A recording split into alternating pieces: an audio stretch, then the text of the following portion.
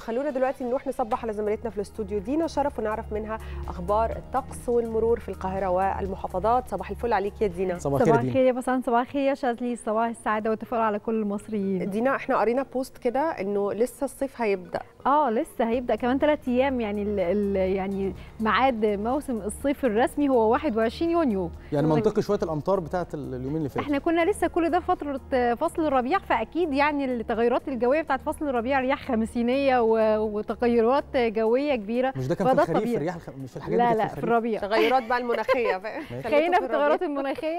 لكن هو يعني الحمد لله النهارده هو في انخفاض طفيف في درجات الحرارة. وأعتقد إن كمان أنا بعرف بقى وإحنا جايين الفجر كده لو نسبة الرطوبة قليلة شوية بيبقى في نسمه هواء حلوة. فأعتقد خبرة. أيوه. بس خلونا دلوقتي ناخدكم في جولة عن أحوال المرور في مناطق مختلفة من مصر. هنبدأ معاكم جولتنا من القاهرة. وتحديدا من ميدان العتبة وهنفضل ماشيين وناخد طريق شارع الجيش. هنلاحظ ان هناك إن في كثافات نسبية لحد شارع بورسعيد.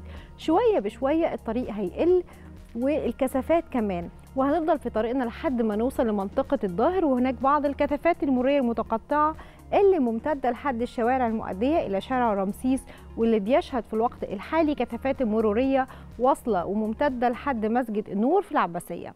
هناخد طريق كوبري أكتوبر اللي بيشهد كثافات مرورية نسبية للسيارات أمام اللي جاي من الجيزة في اتجاه مناطق وسط البلد.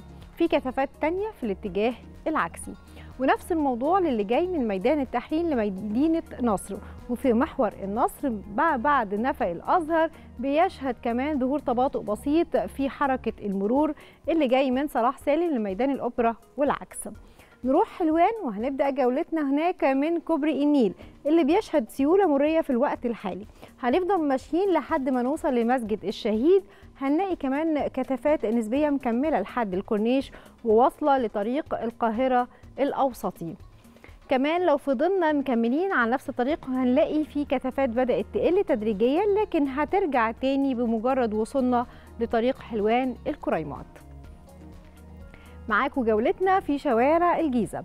وبتظهر كثافات مرورية بميدان مصطفى محمود وشارع جامعة الدول العربية وشارع السودان بالقرب من محطة مترو جامعة القاهرة ده بدءا من نزلة كوبري فيصل حتى شارع التحرير.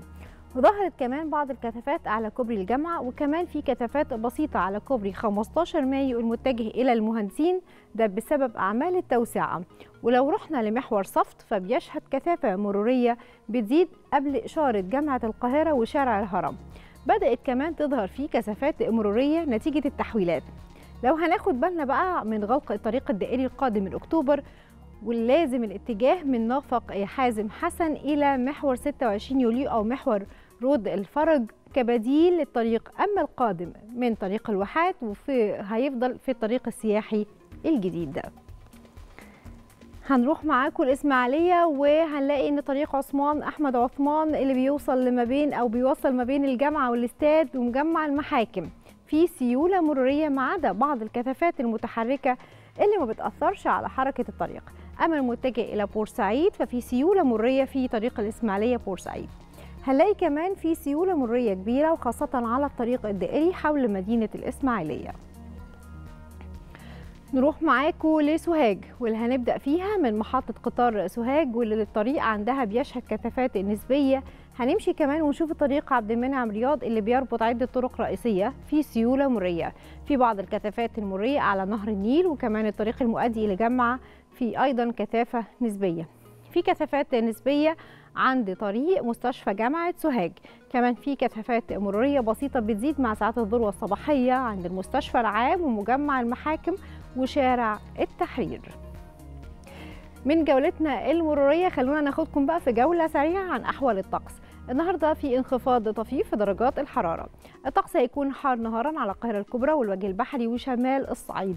في نشاط رياح على مناطق من القاهرة الكبرى والوجه البحري والسواحل الشمالية الشرقية ووسط سيناء وجنوب سيناء وشمال وجنوب الصعيد.